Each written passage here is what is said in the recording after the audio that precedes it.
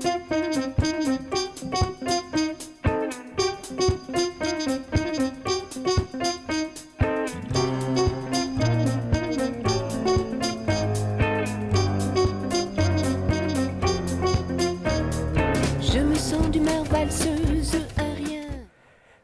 vamos a continuar con esta labor que nos hemos propuesto de información de determinados padecimientos o determinadas enfermedades. Vamos a continuar con esas enfermedades infecciosas. Hoy vamos a hablar en concreto de una, de eh, una bacteria, es la conocida como legionela, que, de la cual padecimos recientemente mm, una cantidad de casos eh, afortunadamente es una enfermedad no seria, es una enfermedad que tiene fácil solución y tampoco es mortal. Eh, vamos a hablar de este tema, de la legionela, de, pues, de la infección, de sus síntomas y sus padecimientos y la forma en que se transmite con una gran conocedora de los temas infecciosos en concreto. Se trata de la doctora doña María Teresa Anaya de la Rosa. Es una médico adjunta del Complejo Hospitalario de Toledo y con ella vamos a hablar sobre este tema, la legionela. Eh, como siempre vamos a empezar con esas noticias que vienen de alrededor del mundo, que yo selecciono para ustedes e intento resumir para dar una información de lo que se está realizando. Comenzamos.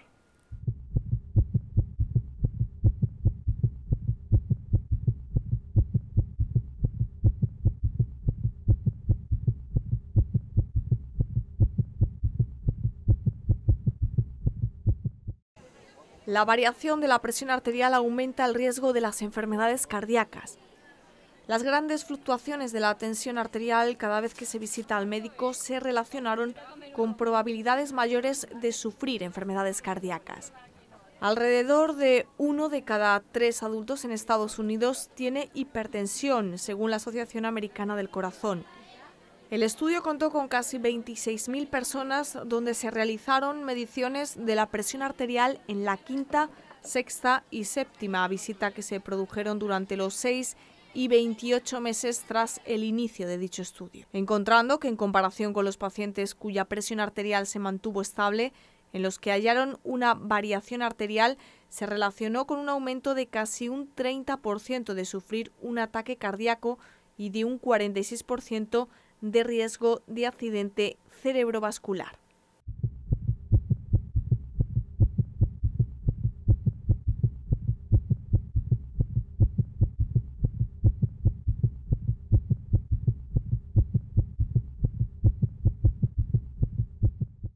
La sustancia que borra el daño cerebral tras una borrachera. Una molécula que produce el intestino de forma natural protege a las ratas de los efectos nocivos de una ingesta excesiva de alcohol. Las borracheras parecen producir una fuerte respuesta inmune seguida de inflamación en el cerebro. Los humanos llevamos bebiendo alcohol desde hace milenios, pero aún ignoramos los efectos que tienen algunas copas de más. Una investigación dirigida por científicos españoles acaba de arrojar nuevos datos sobre lo que puede estar pasando en nuestro encéfalo en las noches de fiesta. Además, desvela un prometedor antídoto ante los daños neuronales del alcohol e incluso de la resaca. A principio de la década pasada se descubrió la oleoiletanolamida, un compuesto del chocolate negro. Posteriormente se descubrió que el propio intestino también segrega esta molécula, por ello se investiga el controlar el apetito y algunas adicciones, incluido el alcoholismo. La nueva investigación, dirigida por Laura Orio de la Universidad Complutense de Madrid, desvela que también tiene un interesante efecto neuroprotector. El objetivo final de esta línea sería buscar nuevos tratamientos contra el alcoholismo, lo cual evidentemente podría proteger ante los excesos puntuales del alcohol, consiguiendo una píldora contra la resaca.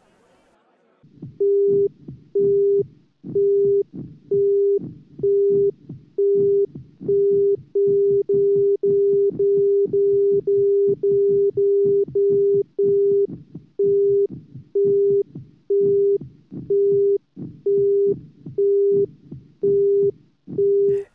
últimamente hemos tenido un brote de dos tipos de infecciones en nuestro país. Una muy reciente es esa transmitida en concreto por ese mosquito que tiene ese aspecto tan bonito, el, el Aedes albopictus. Este mosquito transmite una enfermedad que es un virus determinado que, que se denomina Zika. Pero en nuestra región recientemente también hemos padecido una determinada infección. En concreto es esa producida por una determinada bacteria que es la legionela. Hoy vamos a hablar de este tema, de la infección por legionela con una determinada conocedora de estos temas infecciosos. Vamos a hablar con la doctora doña María Teresa Naya de la Rosa, es una médico adjunto del Complejo Hospitalario de Toledo y ella gran conocedora de los, temas de enfermedades de carácter infeccioso. Ella nos va a decir en qué consiste, cómo se transmite y cómo se consigue erradicar esta, este tipo de neumonía, porque en realidad es un proceso que afecta al pulmón. En concreto, vamos a hablar con ella de este tema tan interesante para que nos despeje nuestras dudas. Eh, doctora, ¿me permite usted que le tutee? Por supuesto. Pues muchísimas gracias, Teresa. El otro día estuvimos hablando contigo de un tema muy interesante, de ese albopictus que nos trae el Zika, que nos, tanto nos ha preocupado. Esto de que el tema que vamos a hablar hoy en concreto afectó aquí a la zona de Castilla-La Mancha, en concreto a Manzanares, y vamos a hablar de ese tema porque yo creo que prácticamente se ha terminado el asunto. Pero no obstante vamos a, hacer conocer a la gente en qué consiste, eh, por qué se produce, quién la transmite o cómo se transmite. ¿De acuerdo? Eh, mm, ¿Qué es en realidad la legionela? Bueno, la legionelosis eh, es una enfermedad relativamente nueva. Se describe eh, por primera vez en el año 1976, cuando en un hotel en Filadelfia, eh, que se había reunido pues, la Legión Americana, porque bueno, se reúnen todos los años para hacer una convención, empezaron a surgir casos de neumonía y surgieron como en torno a unos 200 casos, hubo además fallecimientos. Se investigó esta enfermedad, se descubrió la bacteria, que es la Legionella pneumófile, y a partir de ahí bueno, pues empezó a estudiar más esta enfermedad, aunque hay estudios eh, que se hicieron posteriormente que describen eh, o que se cree conocer la bacteria desde años anteriores. Pero bueno, a partir de ahí es cuando se ponen todos los mecanismos para estudiar esta bacteria. La legionela, como bien has dicho, es una bacteria. Es una bacteria que tiene unas características especiales. Es una bacteria que... Eh, mm, es intracelular, es decir, necesita encontrarse dentro de las células o dentro de una ameba o dentro de un protozoo. Eso es lo más frecuente, ¿verdad? Para poder sobrevivir. Eso es. Es, una, es un bacilo, tiene forma de bastoncito, no es que sea excesivamente grande, mide en torno a unos 0,3 o 0,9 milímetros de, ancho y hasta 1,5 5 milímetros de, de largo.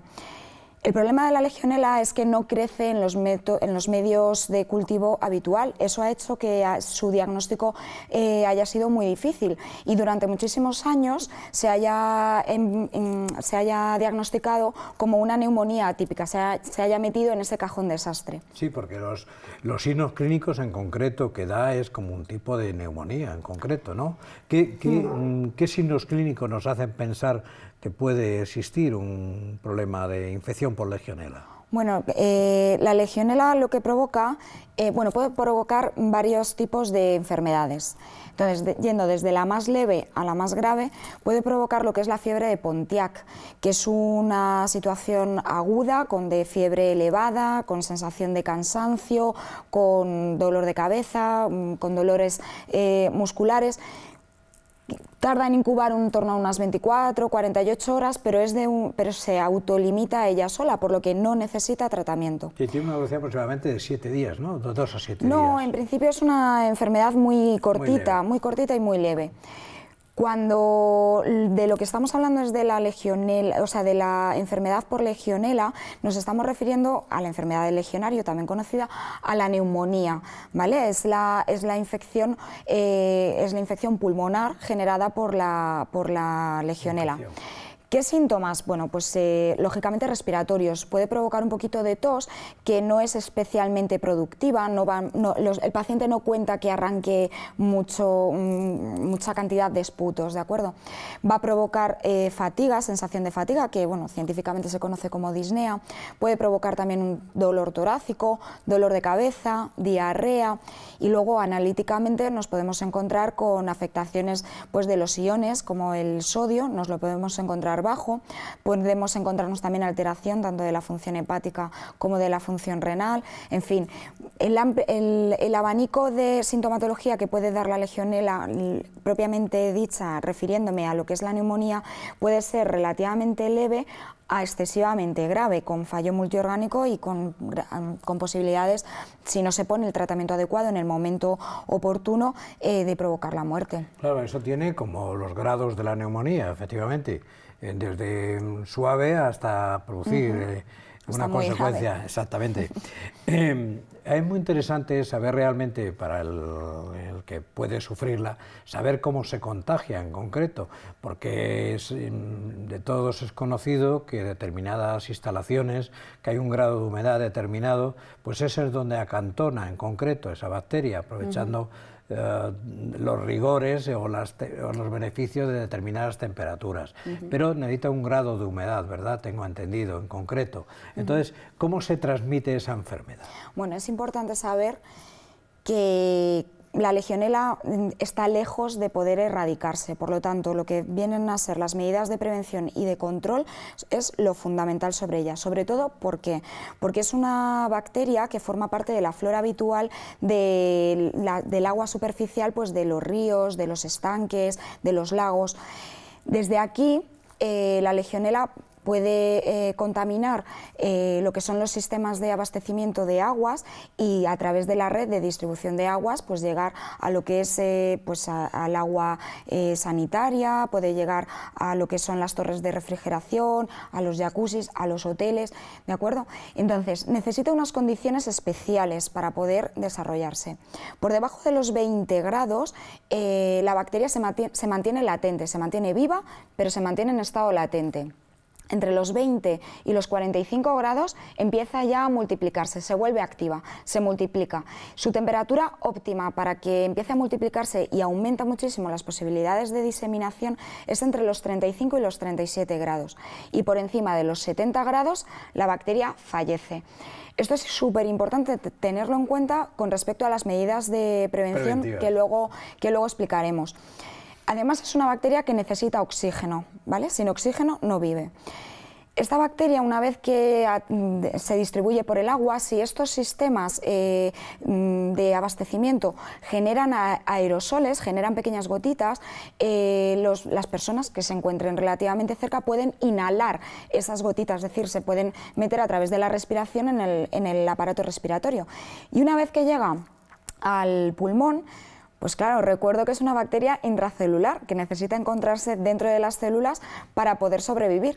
Entonces, lo que normalmente, frente a una infección, normalmente el organismo responde, bueno, pues eh, nos encontramos con una bacteria, van los eh, glóbulos blancos, en este caso los macrófagos, para intentar neutralizarla, y lo normal es que lo consiga neutralizar, pero con la legionela no ocurre eso. El macrófago, cuando se encuentra con la legionela, digamos que lo fagocita, se lo come, pero claro, la legionela en ese momento eh, encuentra su, su, hábitat. natural y entonces empieza a reproducirse. Cuando genera un número excesivo de legionelas, entonces rompe ese macrófago y otros macrófagos que van a intentar neutralizarle inician de nuevo el ciclo.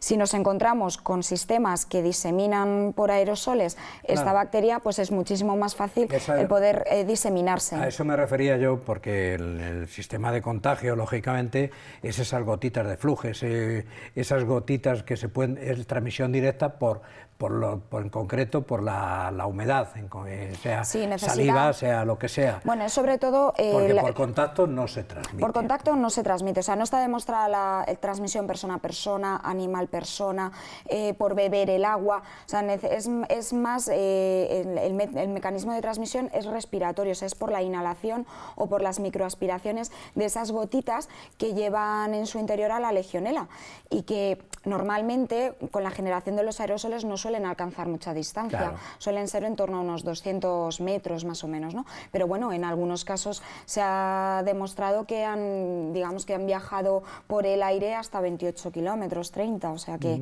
que, bueno, es para tenerlo por en cuenta. Por eso, uno de los sistemas eh, más fáciles de transmisión y lo que hay que tener más cuidado son los sistemas de de refrigeración en, concreto, porque es donde hay una determinada humedad que, sabe, que, le, que, le, viene miel sobre hojuelas a esa bacteria para guardarse y quedarse ahí hasta que tenga una oportunidad de reproducirse. Bueno, ha habido una sobreestimación eh, con respecto a las torres de refrigeración. Se pensaba que es que eh, la legionela solamente era eh, o se transmitía por el aire, ¿no? por, por las gotitas, digamos, los aerosoles que generaban estas, torres, estas torres de refrigeración.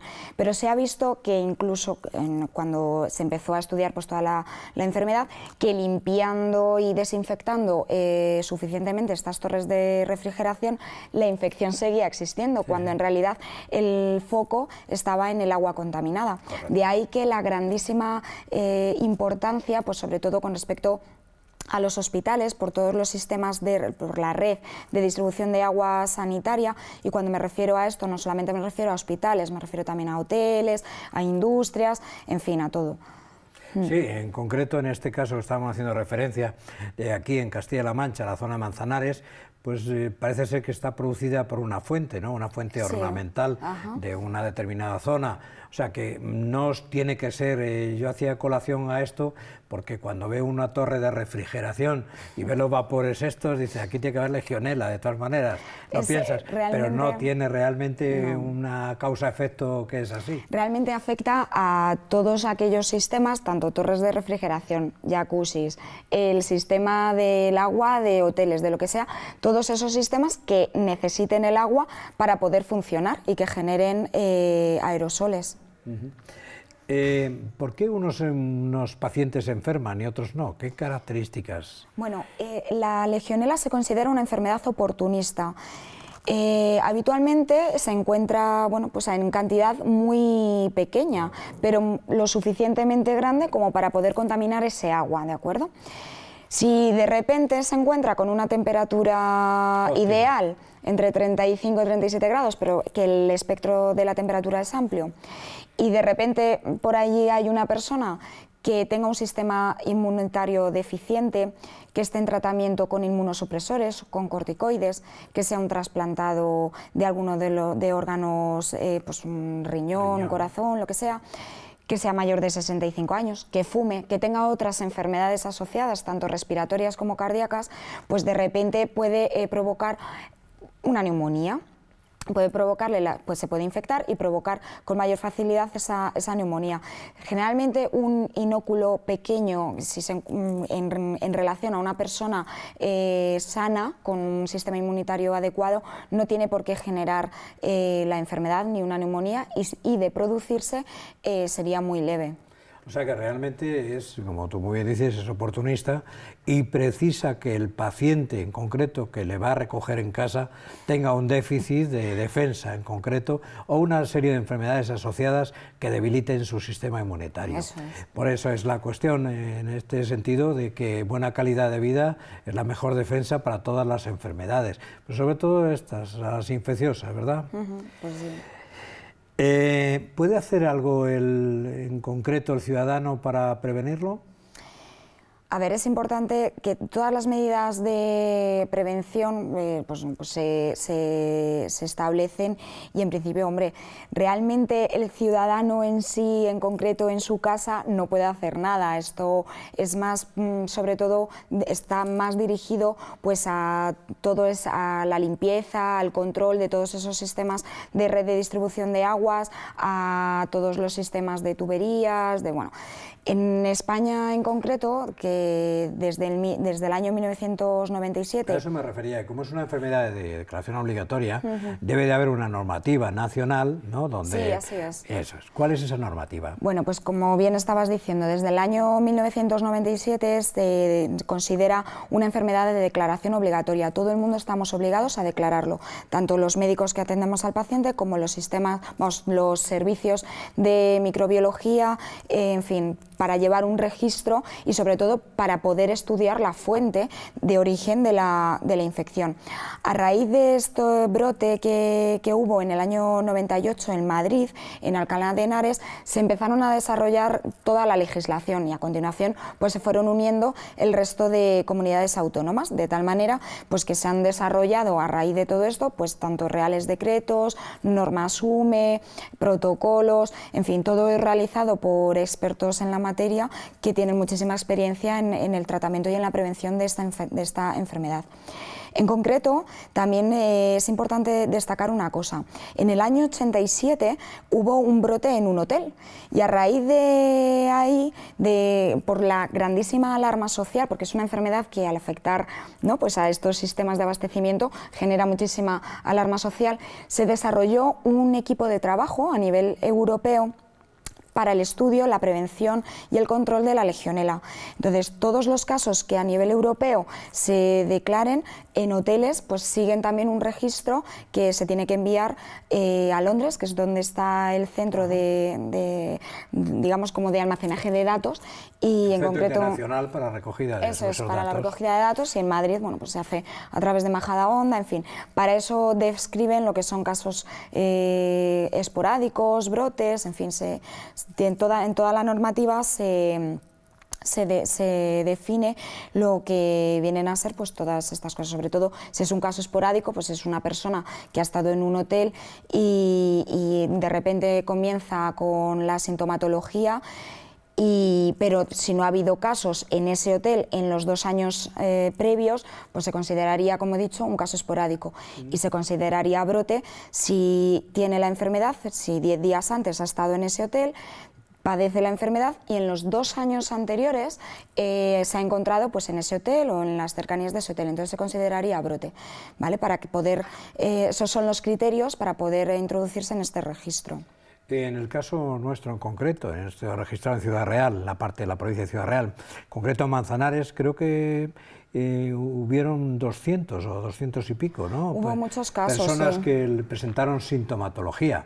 Lógicamente el resultado no fue letal en, todo momento, sino que fue, tengo entendido que fue uno o dos los que padecieron, pero con enfermedades asociadas, ¿no? Claro, es lo que yo he dicho, es decir, en, principio es una enfermedad oportunista. Si, si encuentra la situación ideal para poder desarrollarse, una temperatura ideal, eh, un sistema inmunitario por parte del paciente deficiente, enfermedades subyacentes, pues es mucho más fácil que desarrollar la infección y además eh, que ésta sea más grave. Recalco que es muy importante para evitar y disminuir la mortalidad de la enfermedad iniciar el tratamiento antibiótico lo antes posible. El tratamiento es sintomático, ¿no? De los, no. Eh, no. No, es una bacteria y se trata con antibióticos. Entonces, eh, además son unos antibióticos especiales. Recuerdo que es una bacteria intracelular, por lo tanto, los antibióticos que tenemos que dar tienen que ser antibióticos que puedan penetrar en esa célula para poder destruir desde dentro, digamos, a la legionela. Y entonces del amplio abanico de, antibióticos que tenemos, pues en especial tanto los macrólidos como la citromicina o las quinolonas como el levofloxacino, pues son los que más se utilizan. Y en casos ya pues excesivamente graves que incluso necesiten un ingreso en una unidad de cuidados intensivos, pues se pueden utilizar la combinación de uno, dos o tres eh, antibióticos, lo que sea necesario. Afortunadamente, como dices, el tratamiento antibiótico pues eh, es una solución eso y el sintomático repetido para quitar la sintomatología, que es lo que le hace al paciente realmente sufrir, en concreto. Eh, María Teresa, el tiempo se nos va, no nos enteramos de que, de que prácticamente llevamos hablando unos minutos ya con eh, que hemos terminado, o en concreto. Eh, yo te dejo encauzada en otra ocasión para que vengas a enseñarnos de esa de ese conocimiento que tienes tú de determinadas infecciones. Si te parece, nos volvemos a ver. Esta es tu casa y tienes la puerta abierta para cuando quieras venir. Muchísimas gracias. Gracias por ti. Gracias.